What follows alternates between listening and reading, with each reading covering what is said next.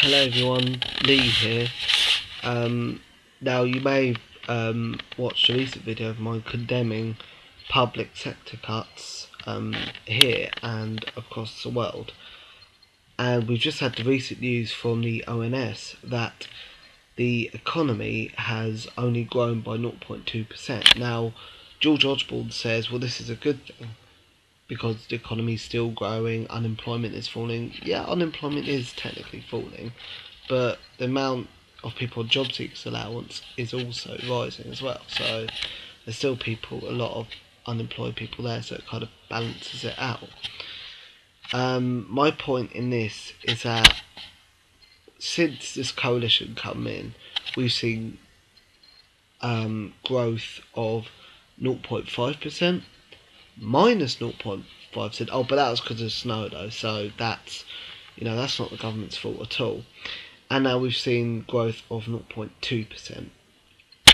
Now, when Labour left office, after their last budget in March, um, the last budget that Alistair Darling put forward, the economy was growing by 1.1%. Now, people are arguing that, well, that was a false growth because he was spending more, he was just spending money we didn't have. It, it was a false growth. Possibly, yes. But my point is that these policies that the coalition are implementing clearly aren't working. Now, they've said, oh, this will be a slow and bumpy road to the economy you know, to it'll be slow, bumpy road to recovery. You know, it's not always going to be great growth, but we're still going to grow, just gradually. Now, considering the figures by the end of this year, Office of Budget Responsibility said it would be 2.3% growth, and now I've had to revise down their figure to 1.3% growth. It just, you could just see what's going to happen here. It's just obvious. We're slowly creeping towards recession again. I said it before, in my previous videos, and now the fact that the economy has slowed its rate, rate of growth from 0.5 to 0.2. So really, it's not growing at all. It's barely growing. It's just about in positive growth. And it just seems that, you know, the coalition is so fixed on one strategy, all they're doing is cutting the deficit, not promoting growth, not focusing on areas where they can grow. They just allow they say, okay, well, the private sector will just grow. You know, we, we just expect them to, rather than aiding them in that. So my point is that their policies are not working. It's clear to see that everyone can see that. You know, a lot of people say, yeah, but we had such a big debt that we were going to always grow slowly. Well, no, actually, if we'd pursued a sensible policy of maybe halving the deficit in four years, I genuinely think we would be growing at a decent rate. I mean, we were coming out of recession and we were growing quite well um, after Alistair Darling's budget, after his last budget. So, actually, Labour were on course to do the right things. They made mistakes, and I'm a big critic of Labour, hence why I voted Lib Dems. But their last budget actually showed we were growing. Our economy was growing quite substantially because of the measures they took to help people. Now, you know, they blamed four different things on this. Um, North uh, Sea maintenance, the fact that there's been maintenance and there's been less oil production, that somehow stifled our growth. Um, the royal wedding, which was meant to generate growth, oh, but suddenly it's cost us too much money, so, you know, that's a factor in it as well the warm weather in April. I'm not joking, they're blaming the warm weather in April. Now, British weather is always very unpredictable, and we've always had really bizarre weather. So, this is not, you know, you can't say because we had unusually warm weather that means our economy wasn't growing because people were spending less on ta- on gas and you know electricity. Well, but they were you know, they were probably going out more, maybe going to pubs more, sitting in beer gardens and buying, you know, alcohol and stuff. So, you know, they were going, people were going out more. Or they were going away holiday to seaside resort and actually, you know, hotels across Britain probably done really well over April. So, but also, yeah, the bank holiday as well, that costs a lot of money. But we have, we've had bank holidays for years. So I don't get why an extra bank holiday is suddenly going to you know, suddenly make the economy even worse. It just shows how desperate they are to, you know, to to try and prove that this isn't their fault. It's been over a year. You can't keep blaming the previous government's debts. Okay, initially maybe you could, because it's a long, but no, it's still their fault. It's still their fault, and it isn't. The cuts are are, are actually taking effect now. They have this year. They've said it'll be a difficult year.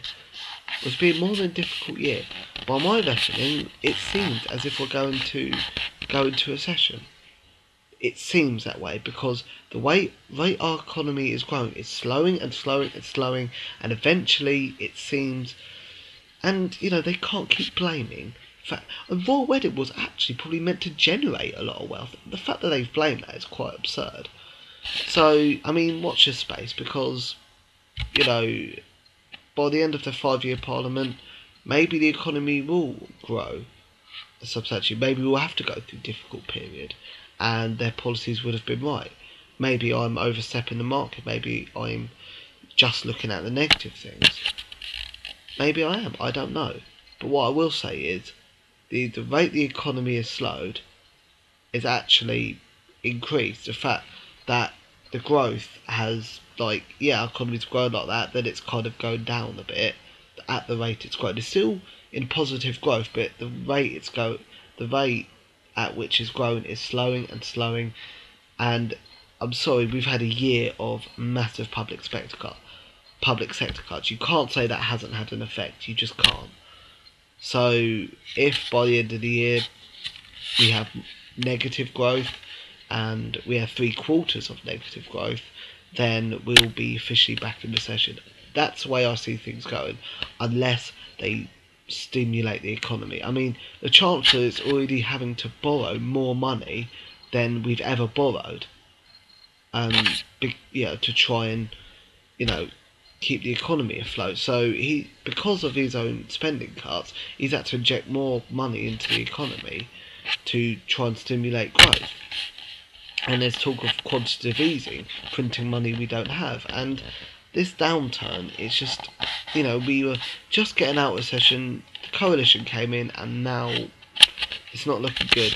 But yeah, I'll keep updated on this when ONS keep producing figures. But yeah, my point was with this video that they're not taking responsibility. That it's it's clearly been proven their policies are not working, and the fact they're going to blame you know, warm weather and the royal wedding for the economy not growing is frankly quite absurd. So I think they should take responsibility. I want them to make the right decisions. I don't want this government to fail. I mean, I don't like the Tories being in power, but if they made the right decisions, any government that made the right decisions and was proven to, I'll hold my hands up and go fair enough. But clearly, the effects of the cuts are really showing here you know, you can see that. We can all see that. It's not. You can't keep blaming Labour forever. Yes, we had a big budget deficit, but you know you can't keep blaming that. The cuts are taking effect. People's living standards are being squeezed by the rise in VAT and pay freezes. If prices rise and people's wages stay the same, then clearly there's a demand problem there because people aren't willing to go out and spend as much because prices are rising, but their wages are not. So the value of their money, the value of what they've got, is worthless. It's not worthless, but it's not as good. So they're going to spend less money. That's basic supply and demand economics.